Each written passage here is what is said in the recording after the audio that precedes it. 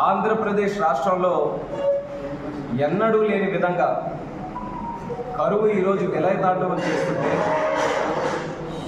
రాష్ట్ర ప్రభుత్వం కానీ జగన్మోహన్ రెడ్డి గారు కానీ కనీసం చీమ కుట్టినంత స్పందనైనా ఈరోజు చెప్పలేక చేయలేకపోవడం అనేది రైతుల పట్ల ఎంత వివక్షత ఈరోజు ఈ ప్రభుత్వం చూపిస్తుందో అదంతా కూడా ఒక నిదర్శనంగా మనం భావించవచ్చు.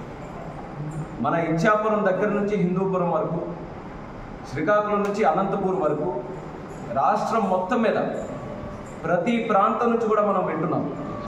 రైతులు ఏ రకంగా పంటలు ఎండిపోయి కన్నీరు కారుస్తున్నారో ప్రతిరోజు అనేక రకాలైనటువంటి కథనాలు అనేక వార్తలు మనం ప్రతిరోజు చూస్తున్నప్పటికీ ఒక్కరంటే ఒక్కరు ఈ ప్రభుత్వానికి సంబంధించినటువంటి మంత్రులు కానీ ముఖ్యమంత్రి కానీ ఏ ఒక్కరు కూడా ఈ యొక్క విషయాన్ని ప్రస్తావించకపోవడం కూడా చాలా దౌర్భాగ్యం అనేది కూడా మరొకసారి తెలుగుదేశం పార్టీ తరఫున మేము ప్రస్తావిస్తున్నాం.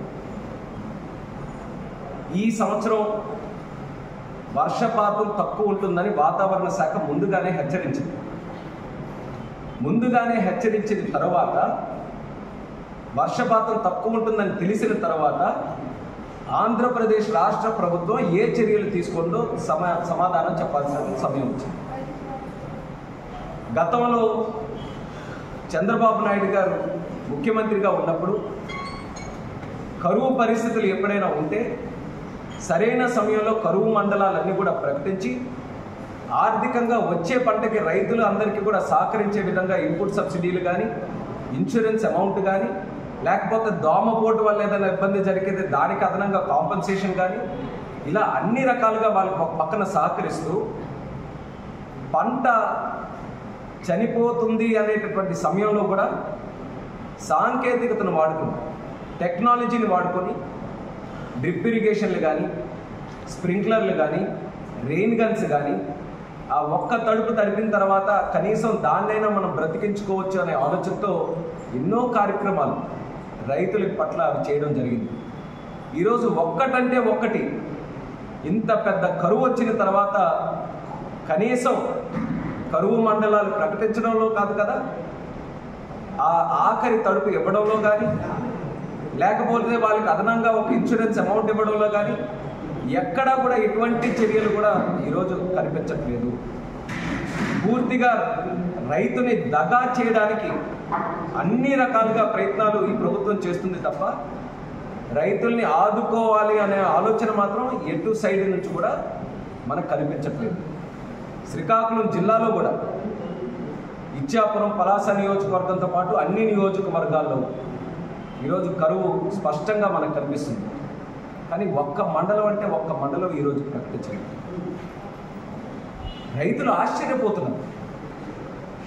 ఇంకా ఏం చేయాలో కరువు మండలంగా ప్రకటించడానికి ఇంకా పంట పంటంతా కూడా ఎండిపోయి నాశనం అయిపోయి రాలిపోతుంటే ఇంకా ఏం చేస్తున్నారు ఈ ప్రభుత్వాన్ని రైతులు గబ్బోలు పెడుతున్నా సరే ఒక్కరు కూడా ఈరోజు మాట్లాడే పరిస్థితులు లేదు రెండు వేల పద్దెనిమిదిలో చంద్రబాబు నాయుడు గారు ముఖ్యమంత్రిగా ఉన్నప్పుడు పన్నెండు పాయింట్ ఐదు శాతం వర్షం తక్కువ నమోదైంది సర్వసాధారణం కంటే పన్నెండు పాయింట్ ఐదు శాతం తక్కువ వర్షపాతం నమోదైతే సుమారు రెండు వందల డెబ్బై ఐదు మండలాలు రాష్ట్రం మొత్తం మీద ఆ రోజు కరువు మండలాలుగా మనం ప్రకటించడం జరిగింది. అందులో రాయలసీమలో ఉన్నటువంటి అన్ని మండలాలు కూడా ఆ జాబితాలో మనం చేర్పించాం. అంత చిత్తశుద్ధితో ఆ రోజు మనం ఆ కార్యక్రమాన్ని చేసాం ఈరోజు ముప్పై శాతానికి పైగా వర్షపాతం నమోదు తక్కువగా ఉంది సర్వసాధారణంగా. మనం ట్వెల్వ్ పాయింట్ ఫైవ్ పర్సెంట్కే రెండు వందల డెబ్బై ఐదు మండలాలు చేసినప్పుడు ముప్పై శాతం ఈరోజు తక్కువ వర్షపాతం ఉంటే ఇంకెన్ని మండలాలు చేయాలండి కానీ రాష్ట్ర ప్రభుత్వం ఏం చేసిందో తెలుసా? కేవలం నూట మూడు మండలాలు ఈరోజు ప్రకటించింది. కేవలం నూట మూడు మండలాలు ప్రకటించి చేతులు దులుపుకునే చర్య ఈరోజు చేస్తుంది తప్పితే వాస్తవానికి అనుగుణంగా ఎన్ని మండలాలు ఈరోజు కరువు పరిస్థితుల్లో ఉన్నాయో దానికి అనుగుణంగా జాబితా ప్రకటించడంలో పూర్తిగా ఈ వైఎస్ఆర్ కాంగ్రెస్ పార్టీ ప్రభుత్వం వైఫల్యం చెందింది. దీని మీద సమాధానం చెప్పమని ముఖ్యంగా వ్యవసాయానికి అనుగుణంగా ఉన్నటువంటి ఇద్దరు మంత్రులు ఇరిగేషన్ మినిస్టర్ అలాగే అగ్రికల్చర్ మినిస్టర్. ఎక్కడున్నారండి వీళ్ళిద్దరు కూడా? ఇరిగేషన్ మినిస్టర్ ఈరోజు ఆంధ్రప్రదేశ్ రాష్ట్రానికి ఉన్నారనంటే రైతులకి ఇరిగేషన్ మినిస్టర్ తక్కువ ప్రజలకి ఇరిటేషన్ మినిస్టర్గా ఎక్కువ ఈరోజు అందరికీ కూడా తెలుసు. రాష్ట్రంలో దేశంలో ప్రపంచంలో అనవసరమైనటువంటి విషయాల మీద గంటల తరబడి మాట్లాడినటువంటి శక్తి మాత్రం మన ఇరిగేషన్ మినిస్టర్ గారికి ఉంది.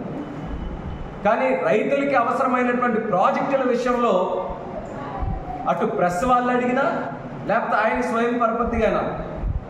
ఒక్క నిమిషమైనా సరే ఒక్క ప్రాజెక్ట్ మీద ఈరోజు మాట్లాడలేదు ఆయన మినిస్టర్ అయిన తర్వాత ఇరిగేషన్ మినిస్టర్ అయిన తర్వాత. ఎంత దౌర్భాగ్యం అనేది మన అన్నపూర్ణ రాష్ట్రంగా పెట్టుకున్నటువంటి ఆంధ్రప్రదేశ్ రాష్ట్రానికి. ఒక్క ప్రాజెక్ట్ ఈరోజు పూర్తి చేయలేదు.